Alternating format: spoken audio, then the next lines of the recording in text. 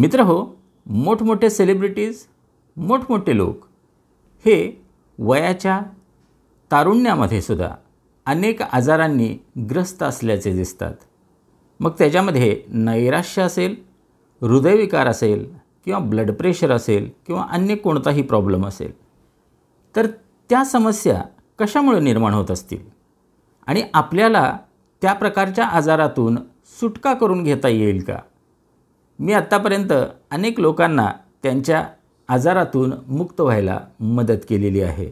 आणि हा व्हिडिओ शेवटपर्यंत तुम्ही जर बघितलात तर तुम्हालासुद्धा हे कळेल की आपण या आजारातून कसे मुक्त होऊ शकतो. नमस्कार मित्र हो मी दयानंद देवमोरे. आणि मी स्वागत करतो आहे तुमचं आपल्या यूट्यूब चॅनलवरती. मित्र हो आपल्याला आजार का होतात? आपल्याला आयुष्यामध्ये समस्या निर्माण का होतात? याबद्दल आज आपण प्रामुख्यानं बोलणार आहोत. अर्थात तुम्ही माझे सगळे व्हिडिओज जर बघितले असतील तर तुम्हाला यातला काही कॉन्टेंट माहिती असण्याची शक्यता आहे. पण मी आज तुम्हाला या गोष्टीची माहिती देतो आहे जी तुमचं आयुष्य पूर्णपणे बदलून टाकू शकेल. तर मित्र हो रिसेंटली मी एक व्हिडिओ बघत होतो आणि तो व्हिडिओ होता डॉक्टर हेगडे यांचा. आणि त्याच्यामध्ये त्यांनी हृदयविकाराबद्दल माहिती दिली होती. आणि त्यांच्यामध्ये हृदयविकार हा रक्तवाहिन्यातल्या अडथळ्यांमुळं निर्माण होत नाही किंवा आपल्या रक्तवाहिन्या ब्लॉक झाल्यामुळं हार्ट अटॅक येत नाही. म्हणजे हे त्यांनी अनेक प्रकारच्या उदाहरणांनी सिद्ध केलेलं आहे. त्यांच्या म्हणण्याप्रमाणे निसर्ग आपोआप त्या गोष्टीची काळजी घेतो ऑक्झिलरीज तयार करतो आणि आपलं हृदय हे सदृढ आणि निरोगी ठेवण्याचा प्रयत्न करत असतो. त्याच्यासाठी त्यांनी एक प्रयोग केला गेलेला पण सांगितलेला आहे. म्हणजे काही लोकांना ऑब्झर्वेशनखाली ठेवण्यात आलं ज्यांच्या रक्तवाहिन्यांमध्ये ब्लॉकेजेस होते. आणि काही वर्षानंतर असं लक्षात आलं की ज्या व्यक्तींना त्यानंतर हार्ट अटॅक आले तर ते हार्ट अटॅक त्या रुक रक्तवाहिन्यांमधल्या त्या रक्तवाहिन्यांमधल्या ब्लॉकेजेसमुळं किंवा त्या ठिकाणी आलेच नव्हते. त्यांनी सरतेशेवटी असं सांगितलं की हे हार्ट अटॅक कशामुळे येतात? तर ते म्हणतात की आपल्या हृदयाला आपल्या मनाला विषारी भावनांपासून बाजूला ठेवा. म्हणजे तुम्हाला हार्ट अटॅक येणार नाही. म्हणजे ही फार मोठी गोष्ट आहे. एखाद्या व्यक्तीला कशामुळं हार्ट अटॅक येतो? त्यानं आतमध्ये कोंडून ठेवलेल्या भावनांमुळं. ब्रूस लिप्टन हे नाव तुम्ही कदाचित ऐकलं नसेल. तर त्यांच्या मते आपल्या शरीराला स्वतः बरा होण्याची ॲबिलिटी आहे क्षमता आहे. पण आपल्याला लहानपणापासून या गोष्टीवरती विश्वास ठेवायला भाग पाडलं जातं की आपण आजारी आहोत म्हणजे आपल्याला डॉक्टरकडे जाण्याची गरज आहे. डॉक्टर आपल्याला बरा करू शकतो पण आपलं शरीर आपल्याला बरं करू शकत नाही. तर त्या गोष्टीवरती आपला एवढा विश्वास असतो की आपण सगळ्यात पहिल्यांदा डॉक्टरचा दवाखाना गाठत असतो. आणखीन एक पुस्तक आहे ज्याचं नाव आहे डेथ बाय प्रिस्क्रिप्शन या पुस्तकामध्ये तर फार खळबळजनक विधानं केलेली आहेत. त्यांच्यामध्ये एखाद्या आजाराचे जे कॉम्प्लिकेशन्स सांगितले जातात तर ते कॉम्प्लिकेशन्स त्या आजाराचे नसतातच. म्हणजे मधुमेहामुळे असं होतं तसं होतं तसं होतं जे काय सांगितलं जातं. तर ते त्या आजारामुळं होत नाही तर त्या आजारावरती जे औषध घेतलं जातं त्या औषधामुळे ते कॉम्प्लिकेशन्स येतात आणि कदाचित त्यामुळं मृत्यूसुद्धा येऊ शकतो. म्हणजे लिटरली आपण बरीच वर्ष एखाद्या आजारासाठी औषध घेत असू तर त्यामुळं आपल्या शरीरावरती वाईट परिणाम होत असतो असं डेथ बाय प्रिस्क्रिप्शन या पुस्तकामध्ये सांगितलं गेलं आहे तर मित्र हो आपला कोणताही आजार बरा करण्यासाठी आपल्याला नक्की काय करता येईल? तर मी याचा जेव्हा अभ्यास केला तेव्हा माझ्या असं लक्षात आलं की आपल्या प्रत्येक आजाराच्या मागं कोणती ना कोणती तरी भावना ही जबाबदार असते. आपलं आत्तापर्यंत जर आयु आत्तापर्यंतचं जर आयुष्य आपण बघितलं तर आपण अनेक आठवणी आपल्या मनामध्ये अशा ठेवल्या असतील की ज्या विषारी आहेत. आणि त्या विषारी आठवणींमुळं आपल्या शरीरामध्ये आणि मनामध्ये आजार निर्माण होत असतात. हे लुई एल हे नावाच्या लेखिकेने लिहिलेलं एक पुस्तक आहे किंवा कॅरोलिन लीफ यांनीसुद्धा किंवा बऱ्याच जणांनी कोणत्या प्रकारच्या भावनांमुळं कोणत्या प्रकारचे आजार होतात हे सांगितलेलं आहे. मग साहजिकच तुम्हाला असा प्रश्न पडला असेल की कोणताही आजार बरा करण्यासाठी काय करायला लागेल? अगदी सर्दीपासून कॅन्सरपर्यंत कोणताही आजार?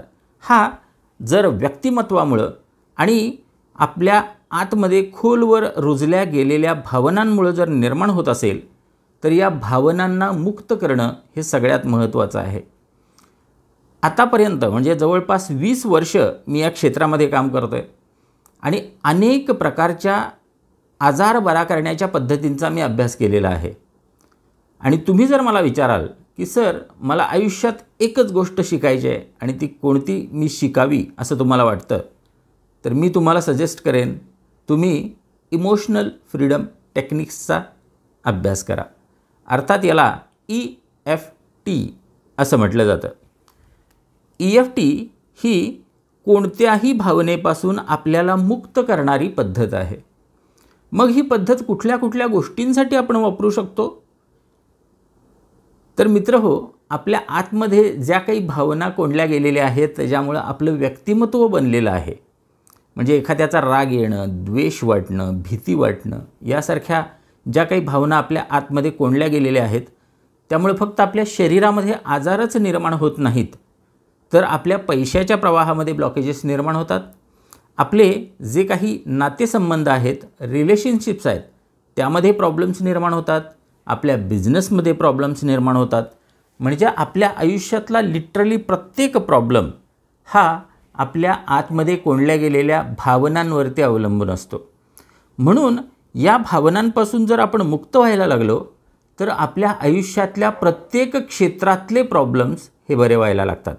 म्हणजे फक्त शारीरिकच नव्हे मानसिक आणि श आयुष्यात मानसिक आणि आयुष्यातले इतर प्रॉब्लेमसुद्धा सहजरित्या गायब व्हायला लागतात. आणि मी फक्त हे बोलतो आहे असं नव्हे मी गेले अनेक वर्ष ई एफ टीचं ई एफ टीची प्रॅक्टिस करतो आहे आणि शेकडो लोकांना मी ई एफ टीची शेकडो लोकांसाठी मी ई एफ टीचा वापर केलेला आहे. आणि त्यातून मी अशक्यप्राय वाटणारे आजार बरे केलेले आहेत आणि अशक्यप्राय वाटणाऱ्या गोष्टी किंवा मानसिक आजारसुद्धा बरे केलेले आहेत पैशाचे अडथळे काढलेले आहेत. तुम्हीसुद्धा ई एफ टी शिकू शकता. आणि नुसतीच शिकायची नाही आहे आपल्याला तर ती दुसऱ्यांवरती सुद्धा वापरायची आहे. तर यासाठी मी एक मोठी संधी तुमच्यापर्यंत घेऊन येतो आहे आणि ती संधी आहे ई एफ टी संपूर्णपणे शिकण्याची. आता याबाबतीत थोडीशी क्लॅरिटी मला तुम्हाला द्यायची आहे. ई एफ टी ही कदाचित तुमच्यापैकी काही जणांनी माझं सिक्रेट वर्कशॉप केलं असेल किंवा मिरॅकल्स वर्कशॉप केला असेल ज्याच्यामध्ये मी ई एफ टीची इंट्रोडक्शन देतो. आणि बऱ्याच जणांना वाटतं की ती ई एफ टी पुरेशी आहे. पण मी जी ई एफ टी घेतो it is tip of iceberg म्हणजे हिमनगाचं टोक आहे. ॲक्च्युली ई एफ टी कशी वापरायची असते याचा एक प्रोटोकॉल आहे.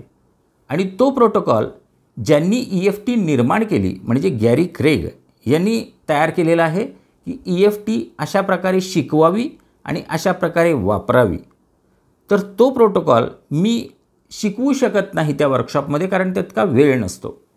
त्याच्यासाठी दोन दिवस तरी ॲटलिस्ट आपल्याला काढायला लागतील तुम्हाला ई एफ टी पूर्णपणे शिकण्यासाठी. आणि ही ई एफ टी आपण फक्त शिकायची नाही आहे. तर ती दुसऱ्यांवरती वापरण्यासाठी शिकायची आहे. म्हणजे आपण ई एफ टी प्रॅक्टिशनरसुद्धा होऊ शकतो. तर हे दोन दिवसाचं वर्कशॉप मी कोल्हापूरमध्ये ठेवलेलं आहे.